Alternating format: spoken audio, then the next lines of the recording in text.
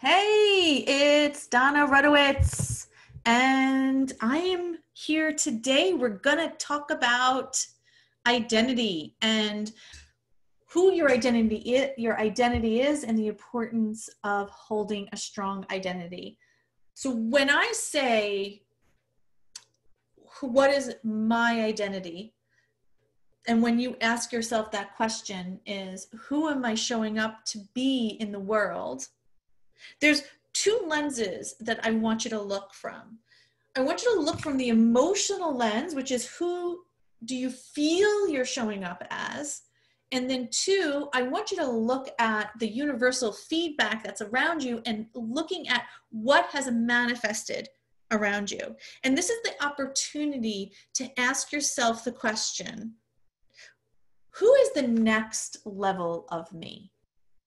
Right? So when we look at how we feel and we look at the universal feedback of what we've created around us, they may be the same or they may be different.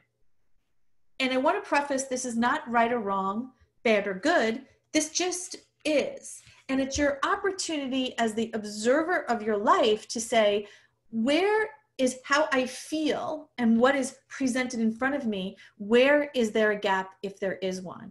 And if there is a gap, what's keeping me from living the life that I know I'm meant to live? And that's why it's important to ask yourself the question who is this next level of me? and then take the time to actually really think about it and write it down. I don't know if you've been through these exercises before, like me, but I could think of something in my head and I could have thoughts about it. But when I take a step back and I actually write it down and I allow myself to have a conversation with it and I see it written on paper, I'm telling you, it's like night and day. It's very, very different. Because if you don't know who you are, where you want to go and what you want to be feeling and achieving, then you could say i want to move up to the next level of my life but the problem is is that life is going to take you somewhere and it likely will be a place that you haven't created so you need to be able to get in there and take responsibility for your life and responsibility doesn't mean it's a burden it actually means it's an honor but you get to take responsibility for your life and decide who you are and where you want to go, what you want to be experiencing, the type of people that you want to be sharing life with. We want to be in the driver's seat of this. You've got to decide who this identity is. And until you decide, the universe is going to consistently realign your life to meet the needs of energy around you. So once you make a decision right? I think there's a saying that says providence moves once we make a decision. So once we make a decision and we get to choose to claim who is this next level of me and what is the identity of this person. Once we choose to claim, we claim it right now. And you claim who you're here to be. You've been through great emotional struggle, you've been through great pain, you've been through challenges, I'm sure you've experienced triumphs in your life, but you wouldn't be here as a divorcing gracefully and beyond sister if you didn't believe that there's a next level of life for you, there's a next chapter for you. And you're going to be given challenges along the way. Right? Those challenges are going to come in whether you want them to or not. But the challenges aren't actually a stumbling block, believe it or not. The challenges are actually leverage. Is that you get to a challenge is showing you that you're still on the new path, that you have a gift. And a challenge is the gift to help you move through chal- those challenges rapidly. So you're either going to have a viewpoint that the universe is friendly or the universe is unfriendly. So you may have the viewpoint that life works out for me, or you may have the viewpoint that life works against me. So again, going back to the original sort of, conversation is what is my identity? How am I showing up in the world today?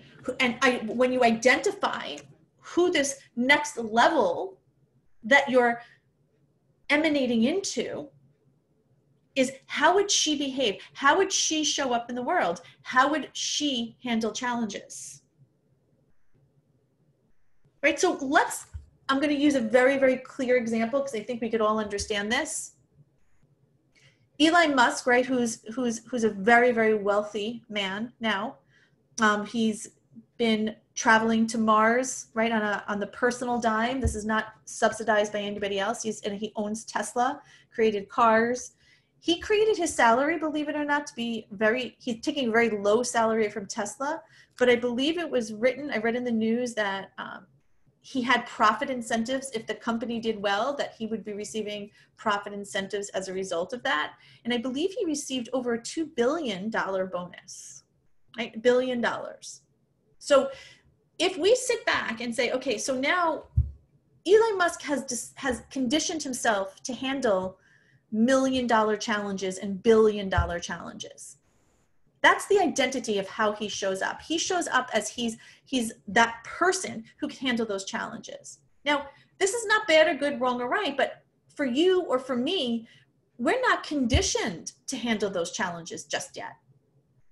We may show up and be able to handle a $10,000 challenge, a $50,000 challenge, maybe even a $100,000 challenge. But we are not conditioned with the ability to handle a billion dollar challenge. Does it mean we can't handle it? Absolutely not. What it means is in the moment, we may not have the tools and the ability to handle it because we're not yet fully seated in that identity to be able to handle it.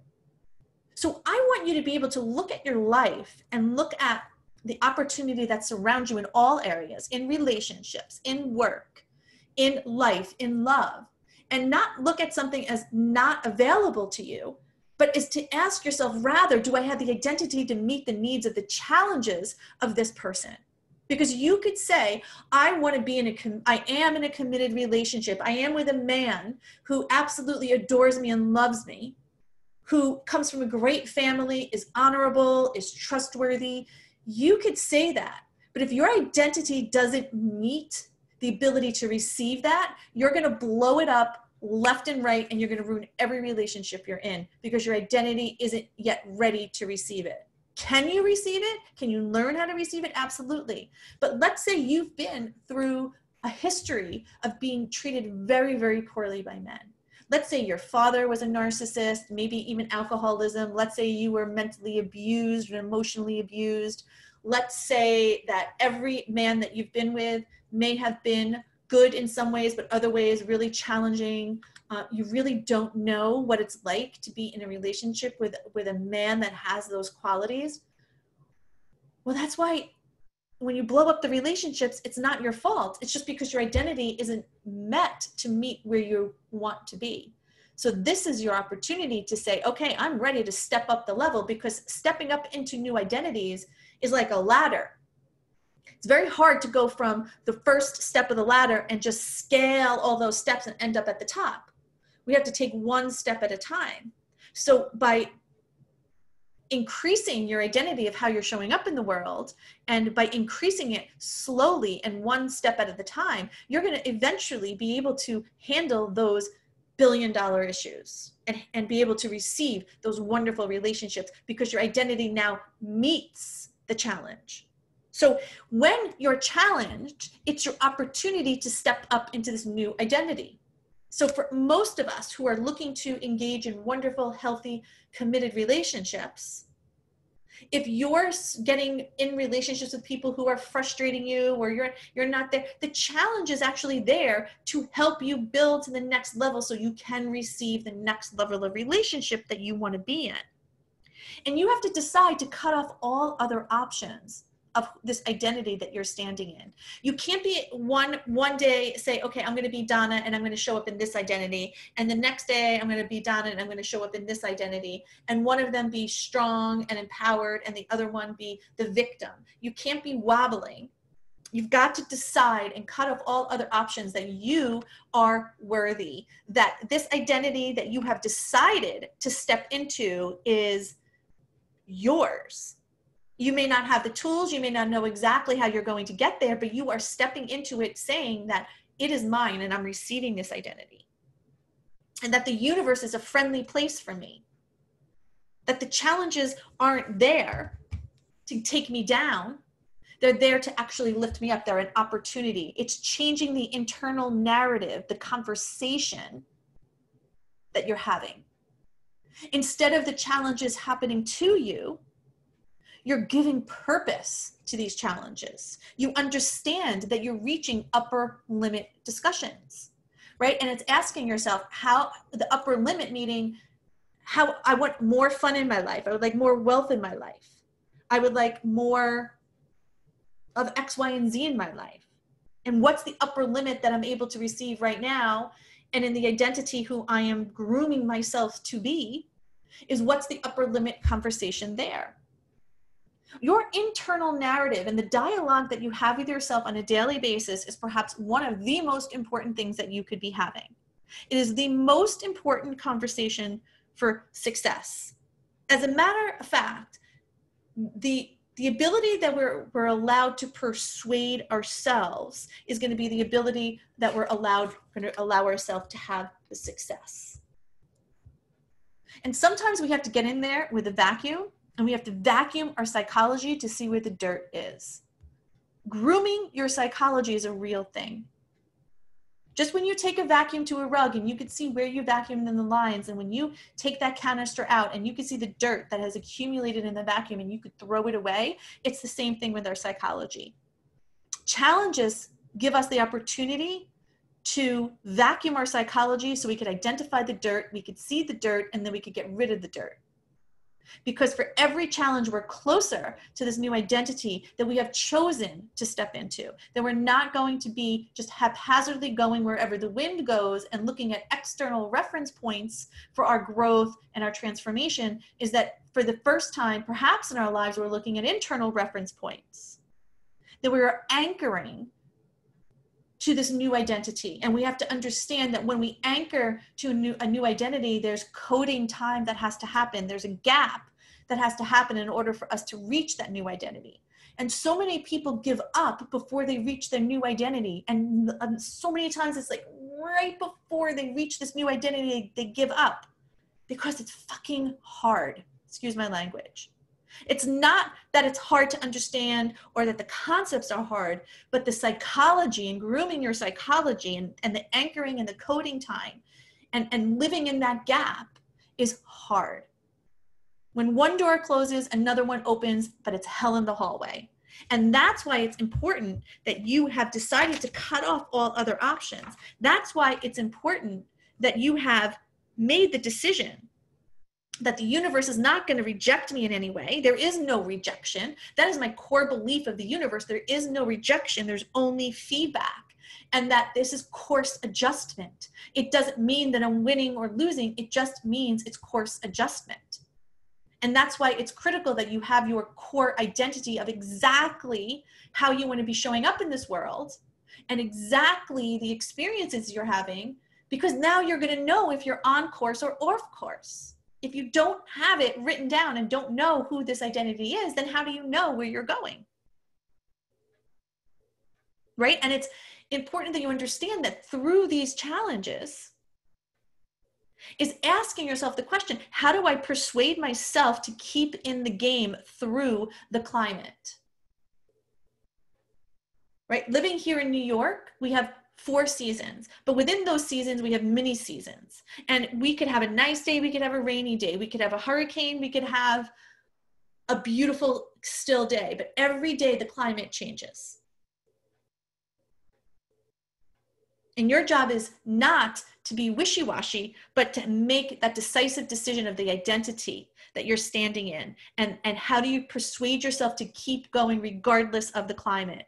Do you need to bring an umbrella with you today? Do you need to hunker down in the house? Is it the day that you could go outside and feel the sun on your face? You're not making the climate mean something. You're just adjusting your course based on the climate. Do you see the difference you're not getting stuck in this climate is good, this climate is bad. I like this climate, I don't like this climate. Sun means that I can have a good time, and rain means I can have a bad time. You're not assigning any sort of meaning to the climate. You're just adjusting your course based upon the climate, and you're going to use the right tools. and I guess it really boils down to commitment is do you want the result or do you not want the result? Because if you want the results, you're going to stay the course. And if you don't want the results, you're not going to stay the course. And this is where you get to choose to say, where do I, when I'm in my challenge, how do I show up? in my identity now. So let's say I'm in identity A, and this is where I'm operating from right now, but I have identity B that I have decided that I want to be this person, right? I want to be free of the ruminating thoughts, that I want to show up and wake up in peace every day, that I have, I'm earning an income of at least $150,000 a year, that I'm in a marriage that is compatible, that we're enjoying it, that my family, I'm able to go on vacations and see my grandchildren. Like this is the identity of who I'm choosing to be. But right now I'm not there. I'm not in a relationship.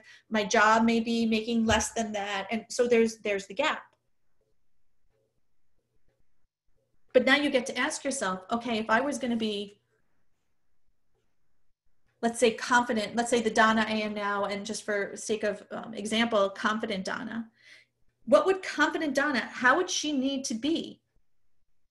How would she need to show up in the world in order to be confident Donna? So maybe confident Donna is not going to get stuck in the small things. And let's say I was on a date and the date didn't go well. And in the past, that may I may have been ruminating about it. I may have brought in all of the stories. And but confident Donna, when she's in a relationship with someone who she loves, she's not going to be in that space. So I'm not going to make myself available for worrying about it.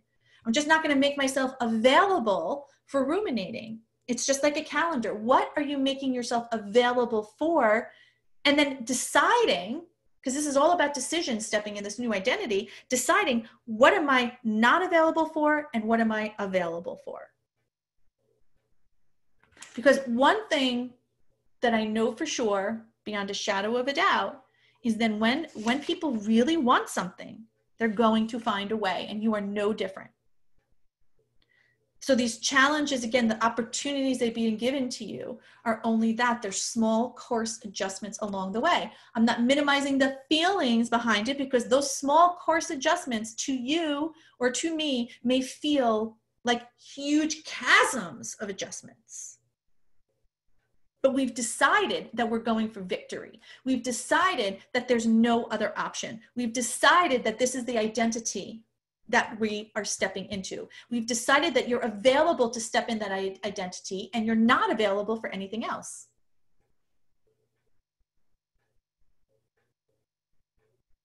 And it's the decision that you can handle the challenges.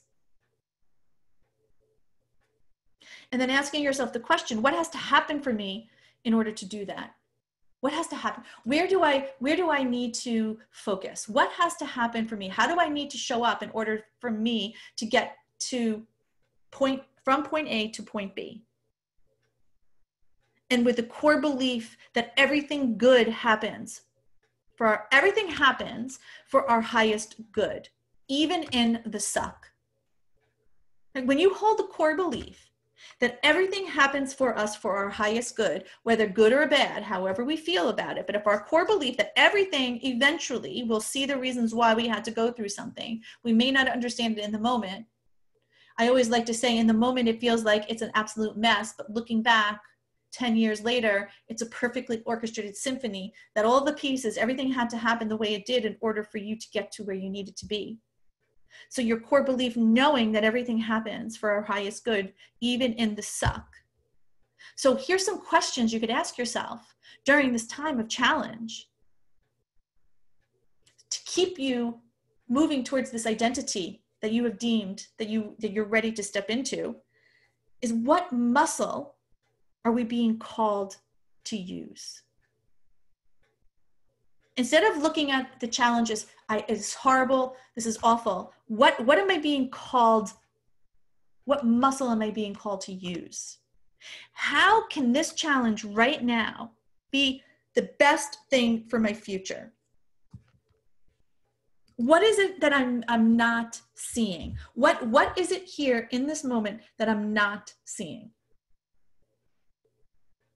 What could be great about this challenge What's the gift in this challenge? How is this an opportunity for my growth or expansion?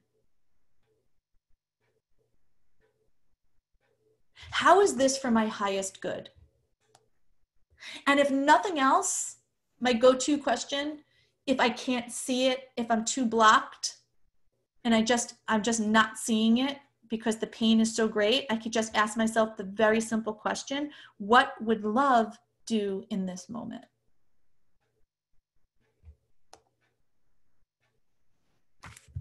You know, there's a myth in society that says once we decide on something, and there, there, there should be an automatic flow. Now, you know that when we're in our grace and when we're in our abundance and we're operating at our highest level, that manifestation actually is effortless. It does come to us with ease, but that muscle takes time to build.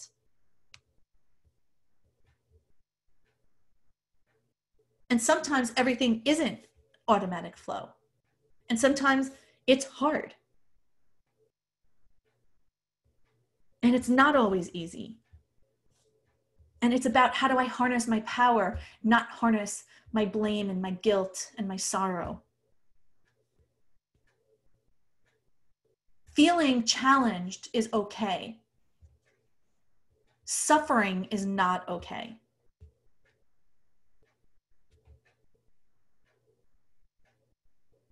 And isn't it interesting when you're chasing your dream?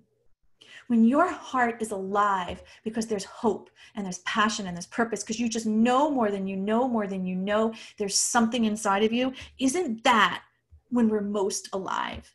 Isn't that when we show up and there's just this energy this light this glistening of our spirit and our soul and our body because we're most alive? We're not tied to someone else's dream or the problems or the struggle that there's hope and that's what i would ask you to do today is is step into an identity and pick an identity that inspires you to wake up.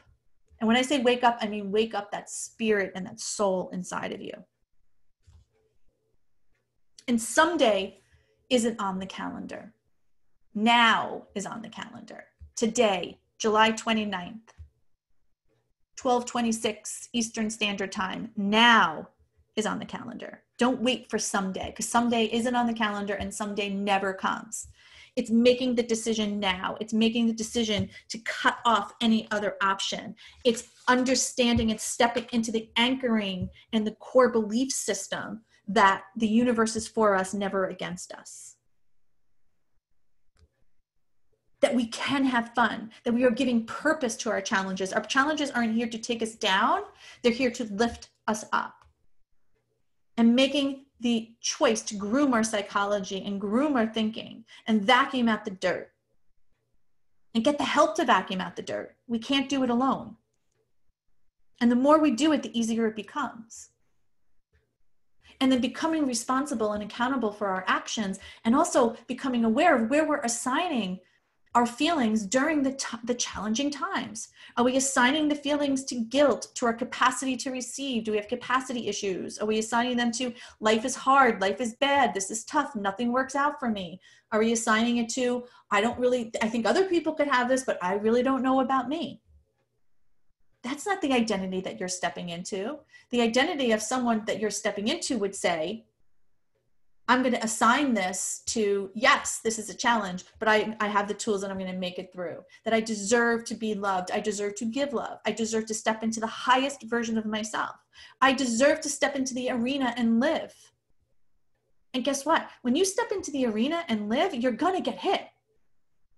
It's a ring, it's like a boxing ring. Anytime you step up to the new level and version of yourself, you are going to get punched, guys. But that punch, be careful of what you make it mean.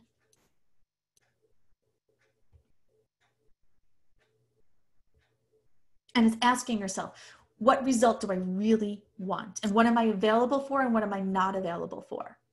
Like for me, I'm just not available for worry. I'm not available for getting stuck on the, the, the little things. I'm not, and I will not tolerate toxic thinking. I am available for expansive thinking. I am available for challenges and figuring it out along the way. I am available to show up to the next level of myself. I am available to connect with other like minded people who are going in the same path.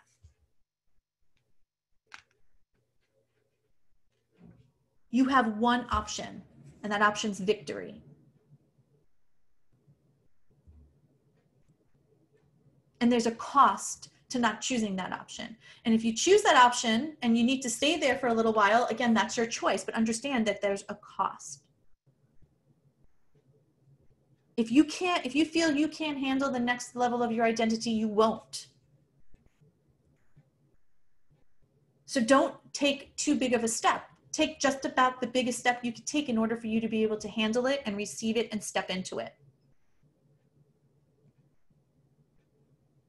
And what has to happen for you to go in that direction.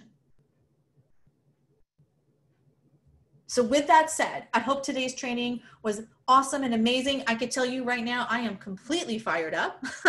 so, I hope you are too. And I hope this gives you something to think about. And I will catch you guys on the other side. Have a great rest of the day. Bye.